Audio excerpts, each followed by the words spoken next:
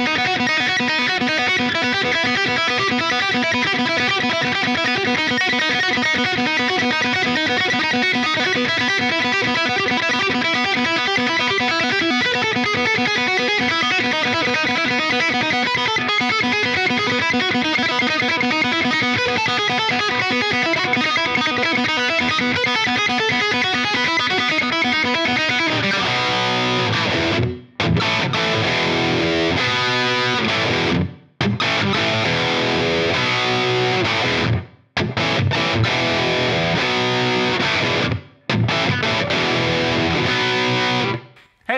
is Carl Brown from GuitarLessons365.com. Got another classic we're gonna redo today. We're gonna learn how to do Thunderstruck by AC/DC. So I did this originally over 10 years ago. Um, that video has millions and millions of views on it now, uh, but we're gonna redo it. Uh, so we're doing, redoing some of our classics here, just kind of bring them up to date a little bit, both with kind of camera quality, production quality, teaching quality, you know, all that good stuff. Um, now, before I get into it, please subscribe to the channel if you have not already. Ring that notification bell so you know when I release a new video, uh, so you can like and comment on the videos. That really helps with the whole YouTube algorithm thing. And um, if you really want to support what I do here on YouTube, really the best way to do it is to click the link in the description below. That is a link to my Guitar Academy. My online Guitar Academy contains all my guitar courses uh, for like covering everything from complete beginner courses to more advanced courses in technique, improvisation, ear training, and theory. Um, the, get a free seven day trial to the Academy, get full access to the entire Academy. I go live every Saturday just with the Academy members, like kind of a live video stream, and you get personalized support from me as well. So please click that link and go check it out. All right, so let's get into the track. So we are in standard tuning here, just like on the original recording. Uh, if you follow along with some of the live recordings, sometimes I'll tune down a half step, so don't do that. This is still, we're following the standard uh, tuning that they used on the original recording here. Um, and we have to talk about the, the big elephant in the room here uh, when it comes to how this intro is played. Um, now, the previous video that I have that has millions of views on it, uh, when I was picking it, there's a lot of people that are just, you know, in the, in the com- would always comment over the years saying that, you know, he actually played this legato. Um, and they're getting this because of the, um, the official video, he's just doing that. He's got his hand up in the air, big rock star pose. And he'll occasionally do that a little bit live too. But uh, for the most part, live and on the original recording, he's alternate picking this. It makes it much more difficult to play to alternate pick it, but it's you can't really make it sound like the recording unless you are alternate picking it and not playing it as straight legato. It's a lot easier just to play it as just hammer-ons and pull-offs. Um, you don't have to time anything between the hands. Um, so a lot of people like to play it like that, and it doesn't sound bad, it just doesn't sound like the record. So we're gonna play it like the record, and we're gonna be picking every single one of these notes in the intro. So, a lot of documented evidence since the video that I posted on it. A lot of people kind of come around and agree with me that it's all been picked, even Angus himself. So, it's picked. So let's do it. So let's jump into this intro here. Now I will give you a couple of uh, tips on, on getting this intro up to speed. Even Angus himself said it started as a legato type exercise. It started as a legato exercise, like a lick. So he would play it just all hammers on pulls off, pull offs. Um, so that's how it started. But then he started picking the notes because um, it gave it that little bit more of an edge, and he enjoyed like that sound more.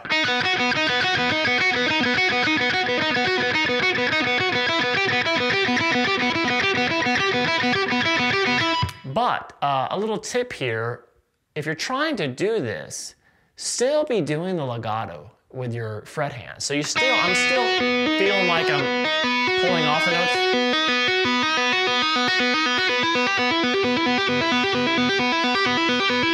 Instead of just trying to trying to make it just like a just a single like that because when you time it with the pick it can kind of sound choppy if you're doing it like that but if you're doing the, the pull-offs and but you're just picking the notes along with it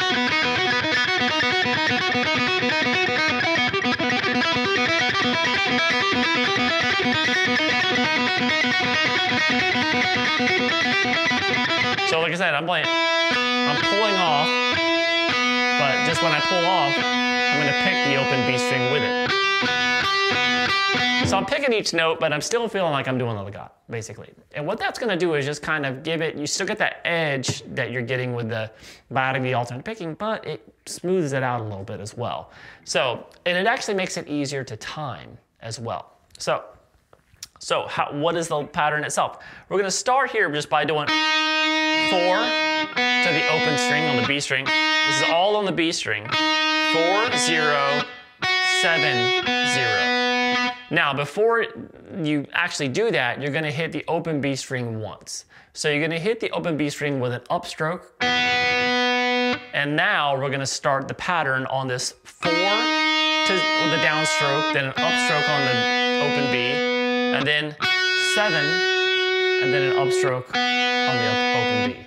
So, so it just kind of starts that little, little quick little upstroke is just kind of an anomaly. It just does it to start it. But then you can find the pattern from there, which is just playing down, up, down, up. It's a four note pattern.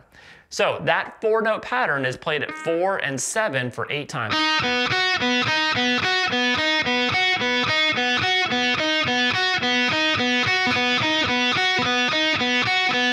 Like I said, try to do a pull off.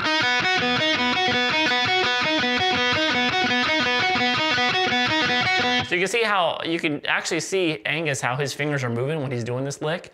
And you can tell he's actually doing, still doing pull-offs. It's still a legato exercise to him. He's just picking along with it. Um, so we have that opening upstroke on the B, and then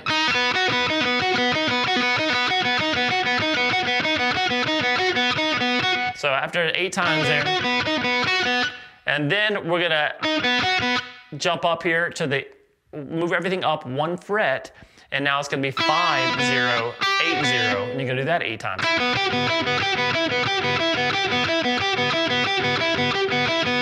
And then go back down to the four and seven, eight times.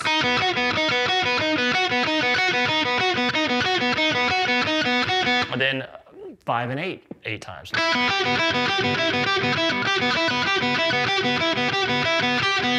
Now, we're gonna start jumping around a little bit. So this last one, you go with that eight to the open B string there. That when you hit that open B, that last open B, you need to shift up to the 12th fret. Um, and then we have a series of notes that kind of descends down. We have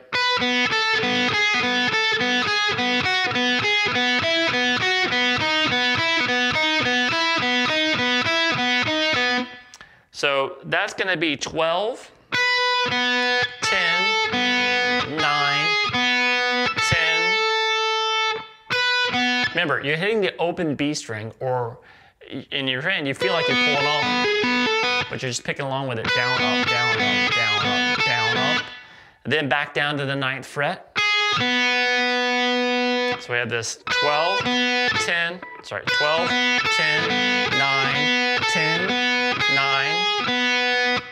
7, shift down to the 7th fret, 7, 9, then shift down to the 5th fret, 5, 7. So.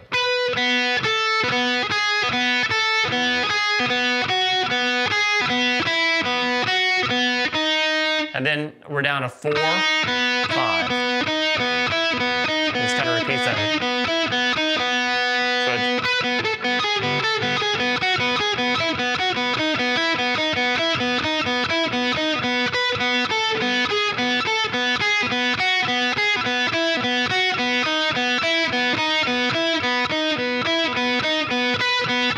Repeating that.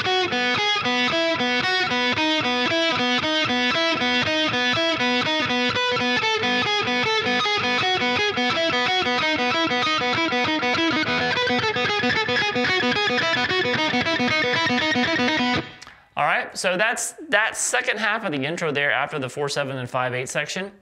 He repeats that a lot throughout a, a- good portion of the song, the verse sections and stuff. So it's just that repeated. Obviously, when he plays live, he goes and he plays some rhythm guitar work instead. Um, and I can say that really all the way up into really the pre chorus of the song, the intro, the, the feel of the intro after the very initial beginning is really kind of carried by Malcolm. So Malcolm is doing this, um, this little rhythm that's just very, very cool.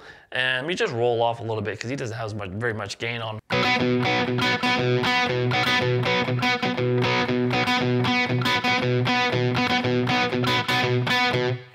All right, so he's kind of holding this with his pinky. You can do do whatever, but um, what it is, you're just gonna hold the fifth, second fret on the A, fourth on the D and the G. And um, he's basically hitting these double stops here at the fourth fret there on the D and the G together. So you do a quick little down up on those, and then back to hit the um, the A string by uh, the, the you know you're holding it the second fret just by itself. So it's, it's better to kind of just feel this rhythm than try to like, you know, down, up, up, up, down, down. It'll kind of fall into place, but you can see there's a couple of upstrokes in there. So we have like down. So all the notes there that I'm hitting on the A string uh, are with the downstroke. So that's going to be a quick down up, uh, then a down, then up, up, then down. Now I'm calling out the hits that are happening on the double stops there. But I, every, after every one of those hits, I'm going back to the A string and just hitting that downstroke there.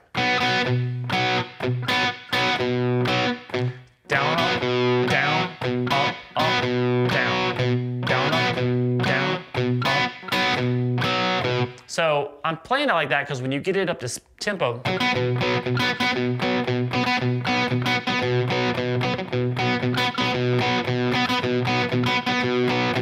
it's uh, that's kind of the way you're going to be able to do it and actually make it sound like it because it, it goes pretty quick. It's a tricky little rhythm. And he keeps that going through a lot of the intro there, all the way up to the pre-chorus. And then Angus kicks into this riff at oh, 1 minute and 34 second mark. I'm following the, the time indications do are going to be on the official video um, on YouTube there, which has over a billion views, if you know it. Um, so um, this is at the 1 minute and 34 second mark. Um, you'll see live, Angus comes and plays this while Malcolm continues that riff we just did. It's this.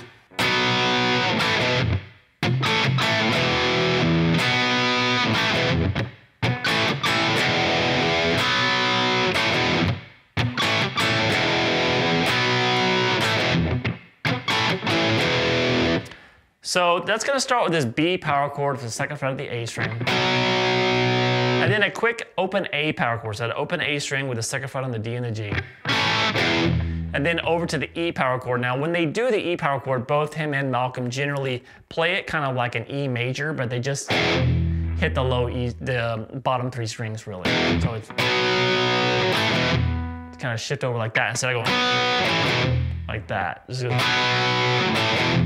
Kind of cleans it up, I think. So that quick little move, and then back to the A twice, and then back to the E.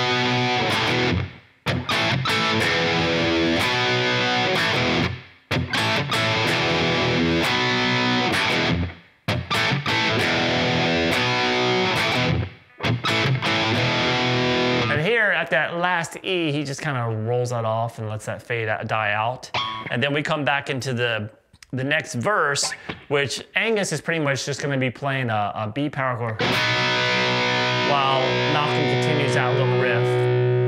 And then just every once in a while, like the beginning of each verse line, I'll hit that again just to kind of keep it going. So they're slowly building the dynamics, but that's pretty much what's going on. Obviously, a lot of these things, there's three things going on. There's that main lick that's continuing to go, and there's two main rhythm parts. When that kind of thing happens, generally Malcolm, at least live, goes and plays one of the rhythm parts. All right? Plus, you know, playing that lick the entire thing would completely, probably his, his hand would break off. All right, so after that uh, verse, we get to the pre-chorus, and then um, both Angus and Malcolm come in and play the same thing together looks like this.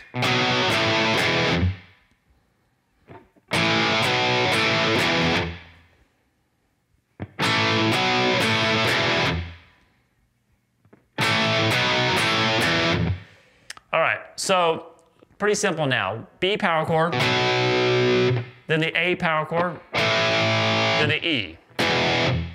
Now from there, we go we go to like a four note four chord version of this, which is the same exact thing again, except you're gonna start it with an A A power chord. So that first time I'm playing the riff, they just don't they leave out that first A power chord. So we have this. And then from there, we're gonna start it with an A. And just keep repeating.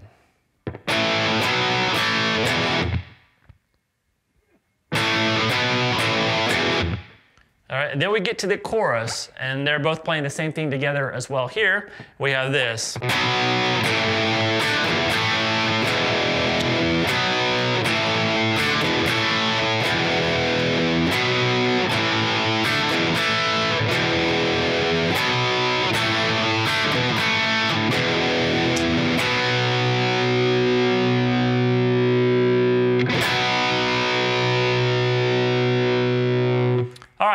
So straight AC/DC here. Um, so quick chord changes though. We're gonna start here with this B power chord. And then we can play it like this, more comfortable. B, then to the A. And then right here, you're gonna see, uh, I think a, a lot of people get this wrong here. It's a D power, quick D power chord. So it goes. So just quick D power chord. So you don't have to hit the, the, high E string. It's just the open D. You can have the open A string in there. And the, it's the second fret on the G, third fret on the B. Then jump to that E chord again. So it is. So this is, if you slow down the recording, that's a very quick chord change. It happens in there on the, if you slow it down a little bit. Plus you can see them, this is how they do it live as well too. So it, so when you get to that E chord, go back to the A, and then back to E. And that's the chorus riff.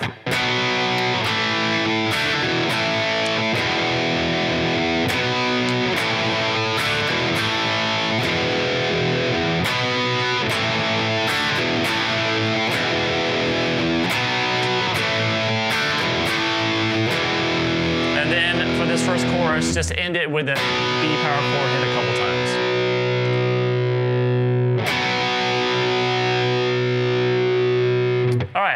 we have, uh, I guess we'll call this the bridge. Quick little riff here. It looks like this.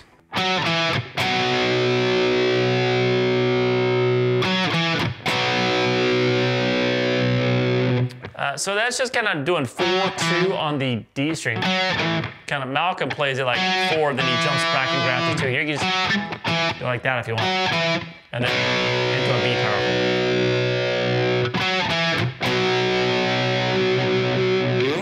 right, so he just does that a couple of times and we get to the solo. Now before I play Angus's solo, we're gonna check out the rhythm, uh, what Malcolm's doing underneath it here. So let me play the uh, rhythm for the solo first. So here we go.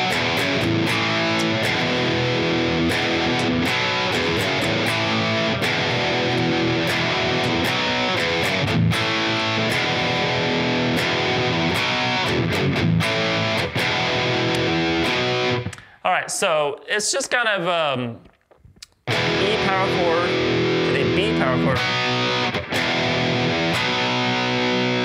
And here it's the E power chord, back down to the E power chord, up to an F sharp power chord. So that's the second fret on the low E and fourth fret there on the A. So we have this. Now here, this next chord is basically just, it's a kind of a transition chord. And what he's doing is he's hitting the open E and the open A string together. So we have this.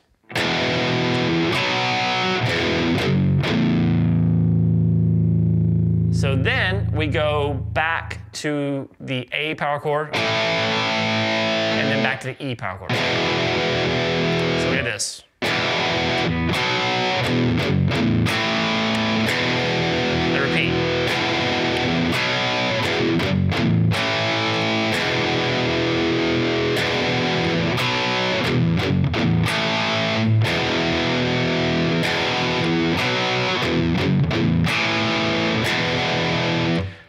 So now let me get to Angus's solo real quick, um, and then I'll show you how to play it uh, note for note. So here we go.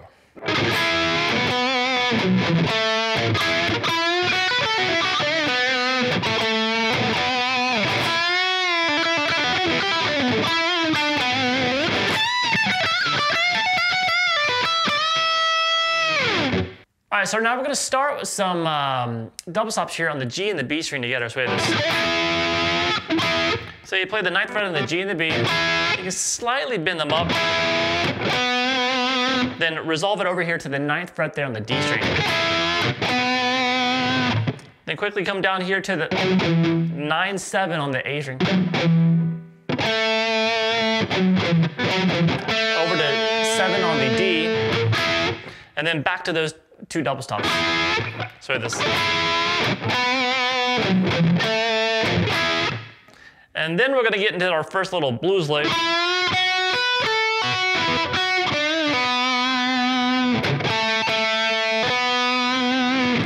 So that's gonna be a bend to the ninth fret there on the G string. And then he's gonna take the same note, but play it here at the seventh fret there on the B string. So it's kind of a slow bend on that ninth fret on the G. It gets to pitch, now you're gonna play the same pitch here, but at the seventh fret there on the B string. And then you're gonna play seven on the high E string, then pull off 10 to seven on the B.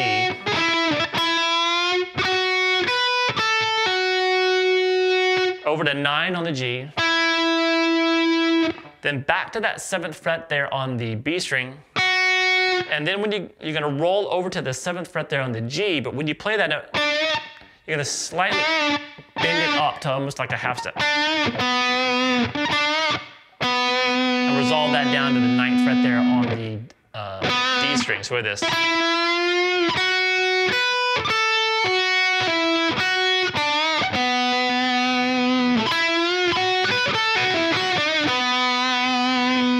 And then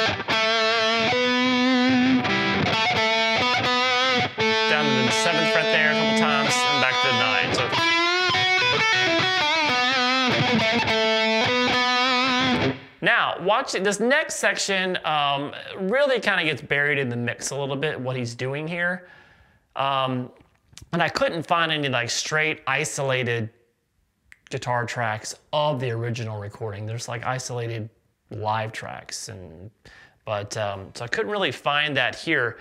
And then when you, you see him play it live, he's usually staying up in the seventh position.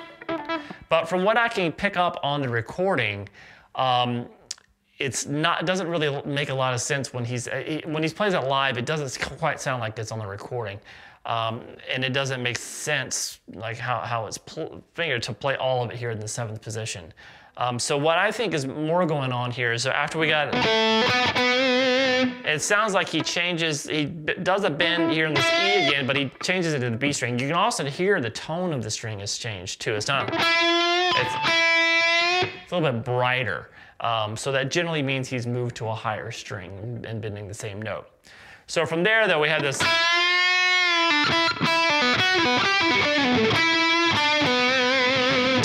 Now, that part right there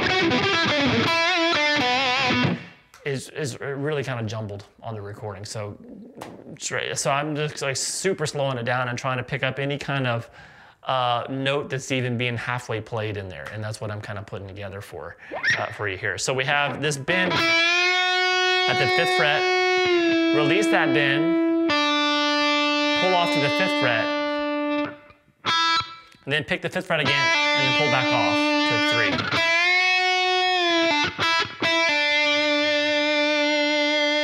And then we're gonna come up here and we're gonna play, you're gonna play seven, pull off to five, pull off to the open B. Then kind of the same lick except the top note is at the eighth fret, eight, pull off to five, pull off to the open B. So this. And then right here, right after that, you hear this like quick little descending little legato thing that's really muted on the recording. And it ends on this A. And so the notes I could pick up it was that. So which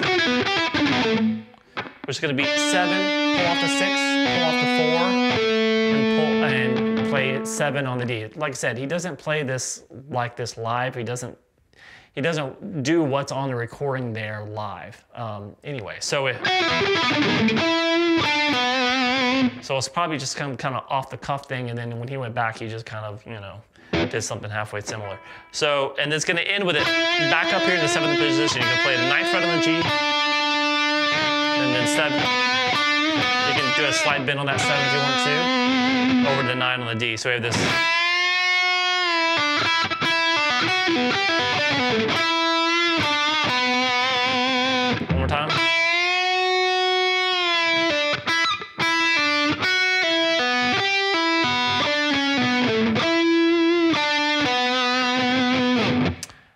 Then this last little phrase in the solo.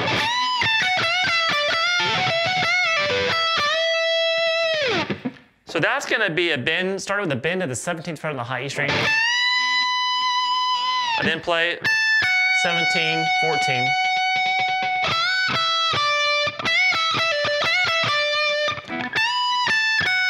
And then over to this bend the 17th fret on the uh, B string, and then release the bend, pick 17, 15.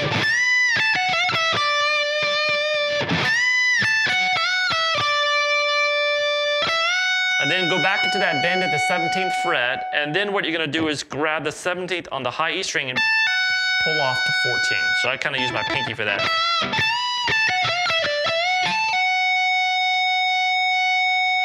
And then we're gonna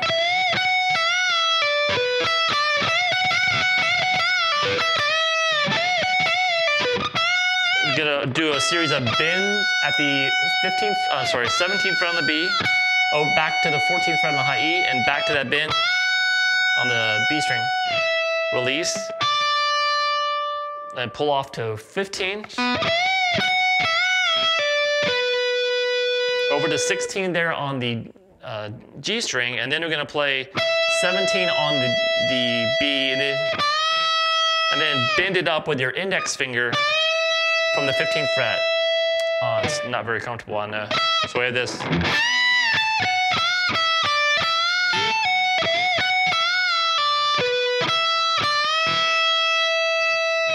And that is it for the solo. So now coming out of the solo, of course, you still hear that da da da da da da thing going on that we did in the intro, um, going on through a lot of it. But we have this little breakdown section, which does have a, it's really low in the mix as well here too. Um, you basically have uh, Malcolm doing just kind of a B to A thing. And then really buried in the mix underneath that wah da da da da da da, you have actually Angus playing along with that. And what he's playing is here.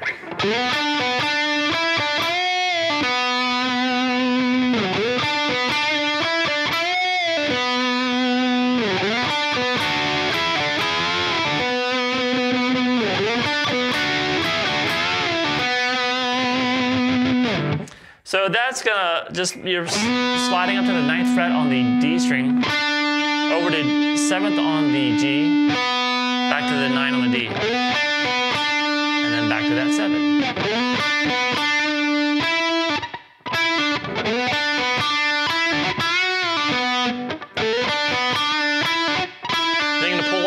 Nine to seven, and then a bend and release at the nine, then pull back off the seven again, resolve it to the ninth fret there on the D. So this. Repeat that. Now, this third and fourth time I'm playing this lick, we're gonna, instead of just like doing the single notes there on the G, gonna just make them double stops. Because so the anytime you play the seventh fret there, you also add the seventh fret on the B and the ninth as well.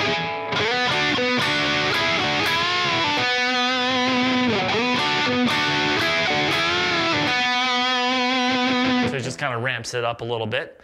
Um, so that's in the breakdown section, and then we're back to the chorus again.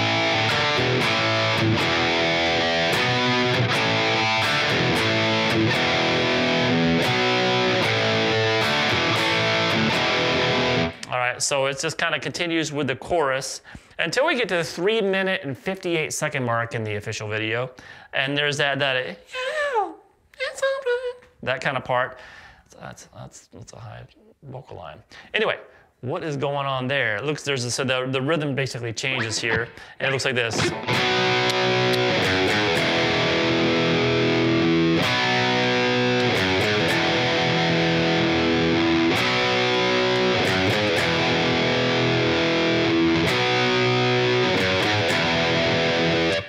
So that's just that B power chord. And then a quick little bass line. Two, four on the low E string. And then into the E chord. So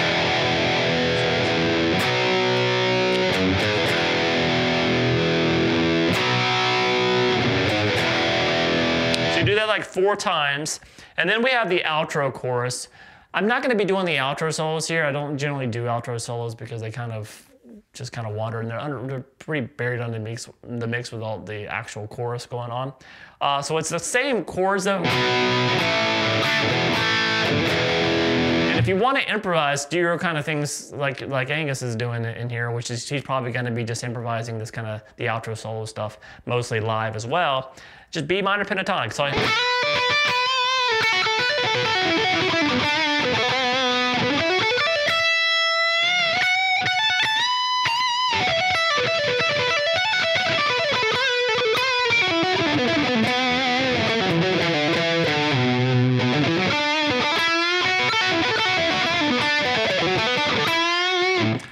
So you can just have fun over that outro section. Instead of me telling all the solos for you like we did the, the main solo, just have fun with B minor pentatonic. If you don't know B minor pentatonic, join the GL3665 Academy. I can't even get it out. The link is in the description. You'll know how to play your pentatonics in any key. Trust me. Um, that's level one of my improv course. All right, now, and at the very end of the song, we're just kind of holding a B5. Wow. Angus kind of.